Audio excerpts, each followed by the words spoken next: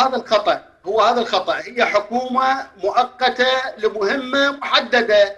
كان ينبغي عليه أن يركز على موضوعة الانتخابات لا أكثر وأن يعني يدير الأمور اليومية بشكل طبيعي. وتأتي الحكومة التي يتم انتخابها. عبر الانتخابات الجديدة هي تتولى المفاصل الأساسية والقضايا الأساسية. عند ذلك تكتسب الشرعية الكاملة. لأن هاي الحكومة بمعنى الانتفاضة هي ما اكتسبت شرعية عبر انتخابات ولا هي حكومة المنتفضين.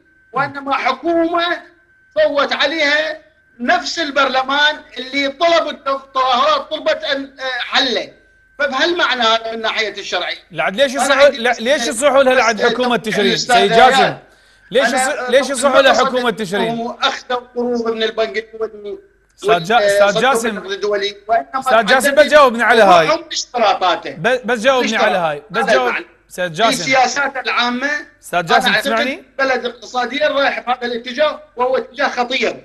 جميل. لأنه بدلا من حصر النفقات مثل ما تفضلت هو آه، يعني زيادة النفقات وبدلا من ردم الهوة الفجوة بين القوى المتمثله المالكة للمال والطبقات الفقيرة المسحوقة هم في هذه السياسات يزيدون الفجوة. هذا اللي طيب سيد جاسم